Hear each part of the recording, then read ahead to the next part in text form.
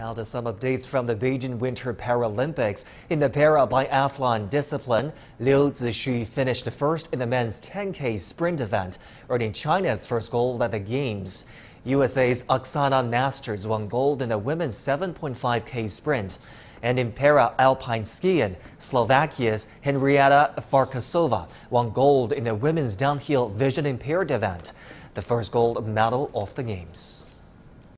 The 2022 Beijing Winter Paralympics got underway on Friday with an opening ceremony at the National Stadium. The ceremony presents the ideas of unity and highlights the spirit of self-empowerment for those with disabilities. The spotlight came on again Friday night at the National Stadium or the Bird's Nest. A curling stone finished off a countdown to the start of the opening ceremony of the Beijing 2022 Paralympic Winter Games. Beijing 二零二二年冬残奥会开幕。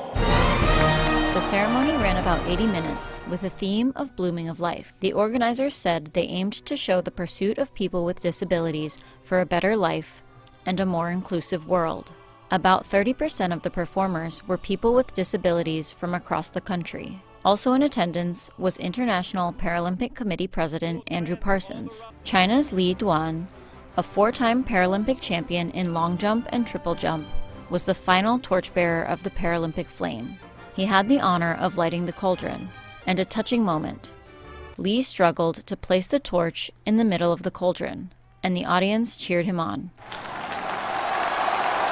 Finally, the snowflake shaped cauldron was lit up and ascended to the top of the stadium. In the next nine days, more than 500 athletes from 46 delegations will compete. China is sending 96 Paralympians. An estimated 85 million Chinese people live with disabilities. Authorities have expressed hope the Games will inspire them to reach beyond their limits.